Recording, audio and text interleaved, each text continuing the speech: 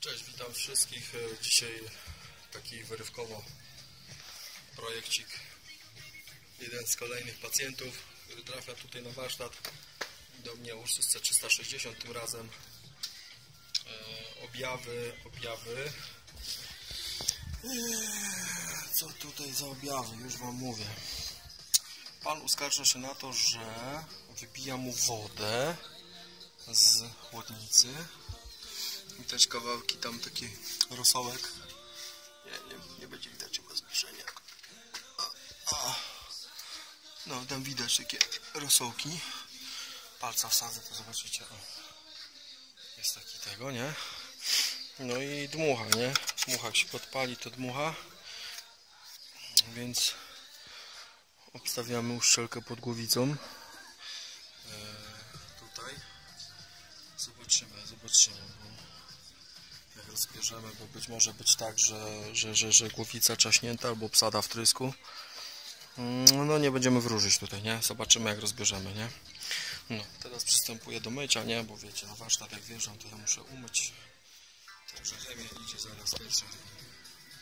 Wyczyścimy bloczek do czysta, żeby lśniła. No, nie będę się później, wiecie, przy samym rozkręcaniu mega brudził o to, wiecie, te śrubki, to wszystko się rozkręca, to jest jeden, widzicie, to jest nalot, syfo, piasek, o, się wszystko o, sypie się, nie? Także to trzeba wszystko zmyć, cały ten syf. No i tutaj, no jest taki zły, nawet w miarę czysty jest. Nie ma jakichś tutaj przecieków, widzę w tym ciągniku. A z tego co nieraz go to obserwuję, to gdzieś tam jak jeżdżę, to e, dostaję trochę po garach. No, także umyjemy i potem e, przypuszczę Wam dalej, co tam, co tam, co tam słychać z nim. Dobra, mamy już umyty sprzęt. Zobaczcie, ładnie. Prawda, że całkiem inaczej? Aż się przyjemnie będzie rozkręcać. Jak się nic nie będzie kleić do paluchów. No.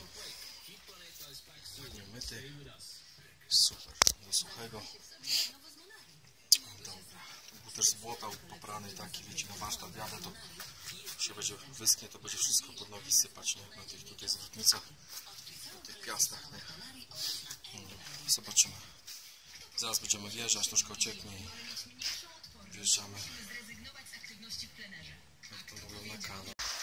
Dobra, mamy na warsztacie 60. Zobaczcie co się dzieje. Weźmy korek. Zobaczcie, takie są objawy. Wali. Centralnie któryś cylinder wali, nie? Cyk, cyk, cyk, cyk, cyk.